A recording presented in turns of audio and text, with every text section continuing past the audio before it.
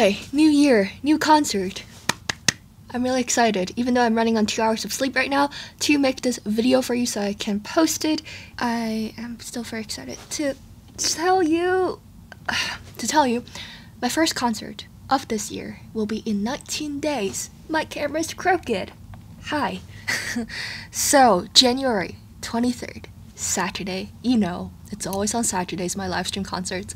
It's gonna be at 11 a.m., as always, Eastern Standard Time, on Dream Stage. It's because of you being super enthusiastic in the past for my Dream Stage live stream concerts that I'm invited back for the third time in such a short period of time. So, very excited. If you don't know anything about me, there are two things that I care about. One, playing and sharing classical music with as many people as possible. And two, doing charity and uh, trying to give back because I have such a rare and unique platform here, and I just really want to redistribute the support that I have already from my special patrons on Patreon, but also in general, your support for me. It's um, never taken for granted. So, so that's why January 23rd is super exciting because one, I get to perform, but also two, I get to do fundraising. There's a third point that makes it more exciting. It's because I get to play with Jan Vogler, who you might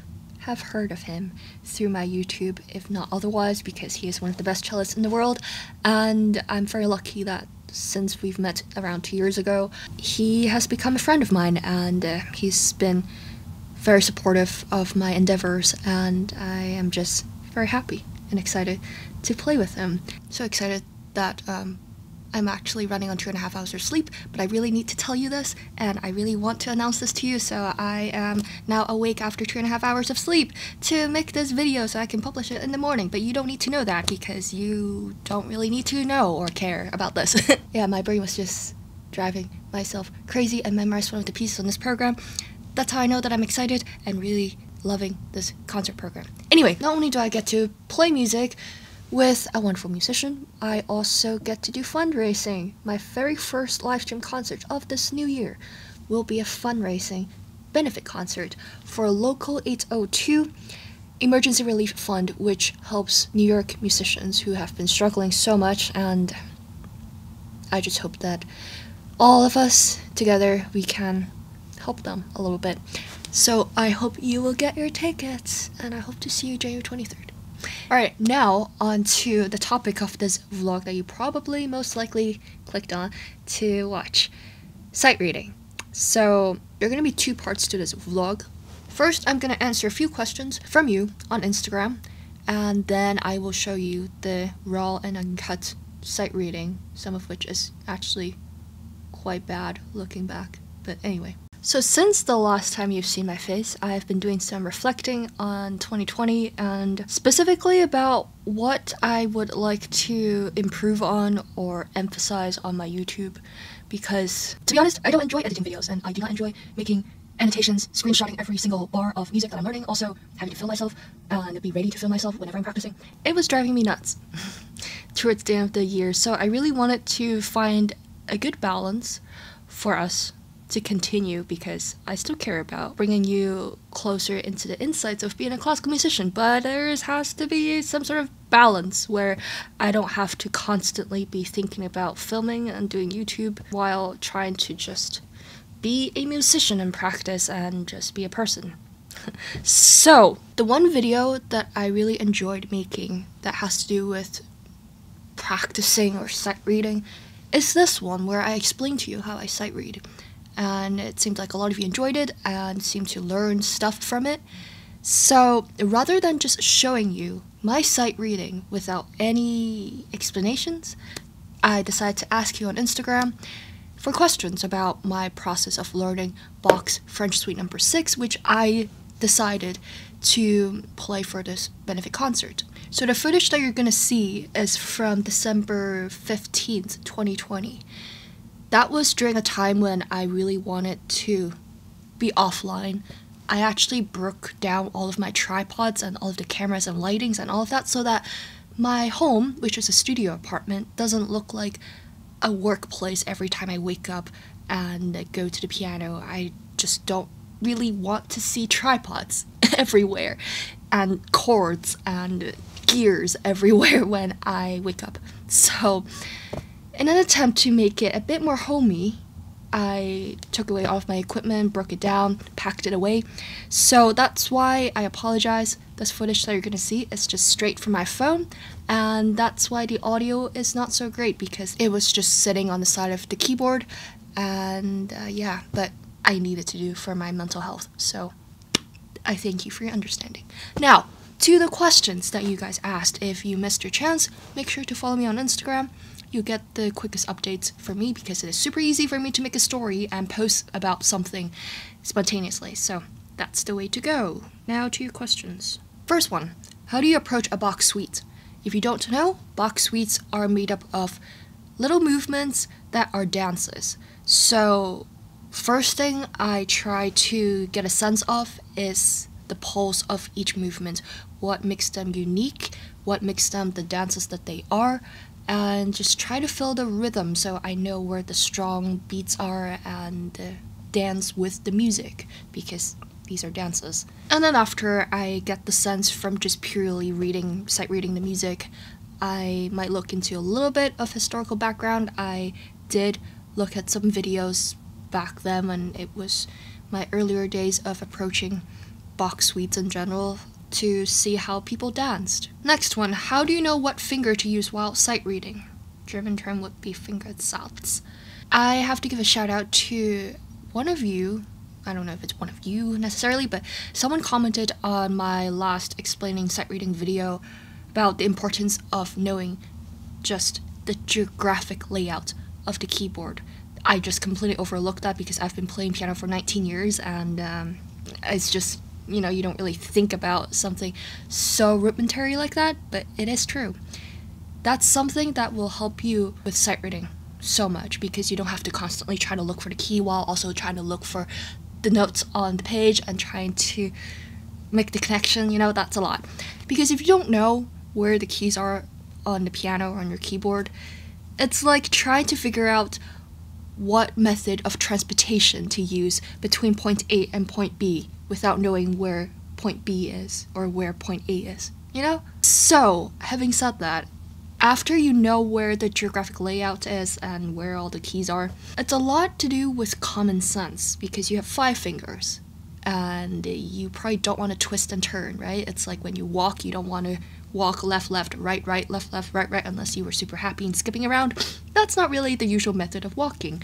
So, same thing with fingerings, it's just something that you pick up, of course, from knowing your scales, but also from knowing where the keys are. I thought about this. Something that might help is to just be able to play the scales in all sorts of fingering. So it might not be your natural, you know, five, four, three, two, one, three, two, one, because it's not always that you get to start on your pinky or on your thumb, right?